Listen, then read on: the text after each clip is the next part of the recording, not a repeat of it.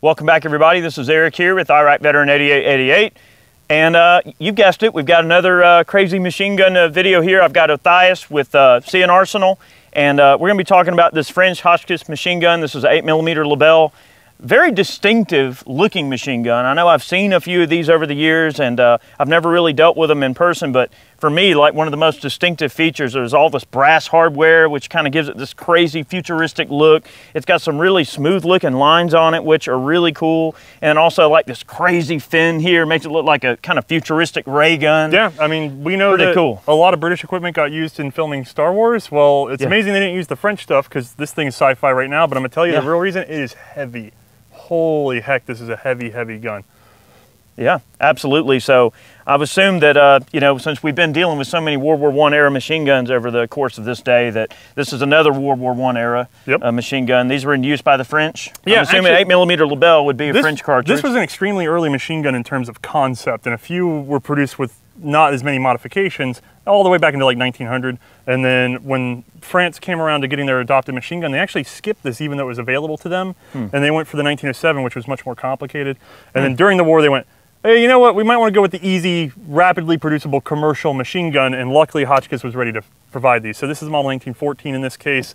Few little changes here and there throughout the war, but very good example of an air-cooled, heavy, heavy machine gun from France working off these weird feed strips. Yeah, and uh, one of the most distinctive thing about this type of feeding system is you also see a lot of World War II era Japanese machine guns uh, utilized a very similar Hotchkiss system for some of their machine guns. And uh, you know, some might argue as to the effectiveness of this, but it does seem like it's pretty reliable, though. I mean, this thing functions really well. It's just the one problem with this kind of system is just how much overhang you have, how hard it is to get low. You got, you know, a lot of handling going up here on the action. Sure. This is where it gets abandoned. It's not as adaptable as the belts. You get, Yeah. you get to play with them all the time. So it's not perfect, but yeah, you're right. The Japanese did adopt the Hotchkisses pretty early, and then they kept evolving with that and using that system. Yeah. But all in all, this is the root of some very important uh, machine gun history. And these were in really heavy use even by US troops. So if you look at a lot of photos of the American Expeditionary Force, you will see things like the Hotchkiss in their hands at first because we shipped over men before we shipped over equipment. That's right. Well, that's where we got into using like P-14s, 303 rifles early in the war instead of 30-06. A lot of our a lot of our troops were issued British and French equipment because we sent men before we sent gear, and Sure. it was a good way to just go ahead and get the pressure on them. And you know, there's some benefit to it, but a lot of troops came back with kind of a bad taste for certain equipment, and I think we have some other French equipment that we might see later on. Yes, absolutely. So, but this one again, USGI probably would have recognized this thing. Absolutely. You know, and this does seem, in terms of manual of arms, a much more active way of running a machine gun, um, whereby you couldn't just loop together a big belt or something. You know, you would probably need a few more people because this is a much more active system. So as that tray is getting fed in, and it gets towards the end of its feeding cycle, you could just basically clip these in and keep it going. Right, they hook but that together. also requires an assistant gunner to be there clipping the additional trays on as the gun is being fired. So I so there there is sort of a bit of flexibility that that would provide you. Right. But at the same time, if let's just say your assistant gunner went down in combat, probably be kind of hard to run this by yourself. Uh, you'd have a very difficult time even maneuvering this by yourself. Right. This is extremely cumbersome piece of equipment. Sure. So that you know, out of all of the the things that we've looked at in terms of machine guns, this one, in my opinion, seems a little bit more dependent on the the human factor to run it, as as opposed to say the Maxim, where generally it's pretty relatively easy to run by yourself, even if you don't have a spotter.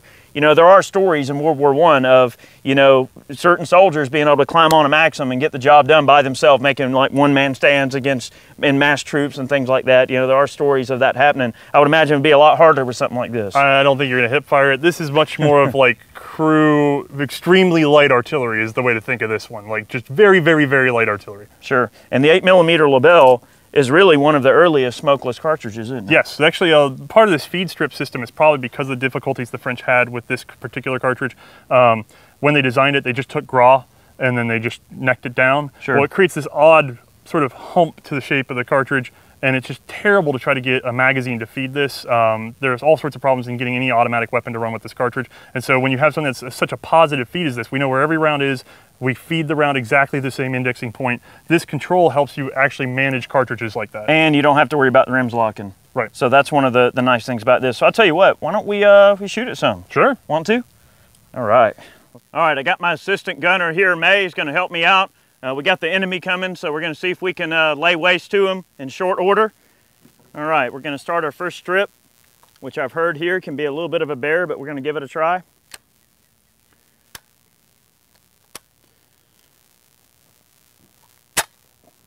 All right, I think we got our first strip in there. All right, we're gonna try to launch a few rounds in.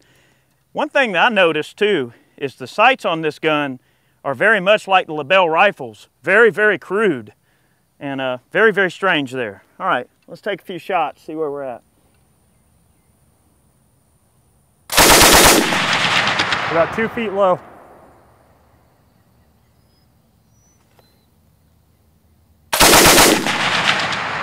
Uh, you hit a little high. Bring it down just a bit.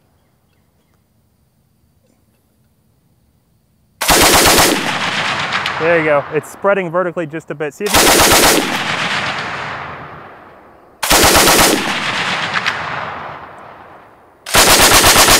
Right on it.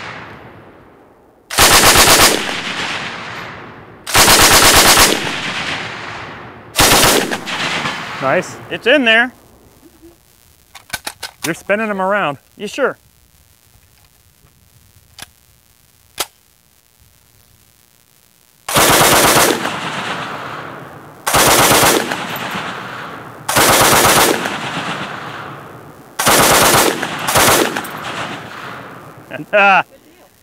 nice.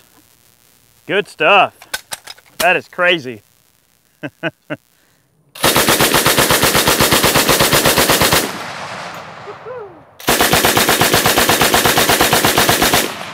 we shot the plate down finally.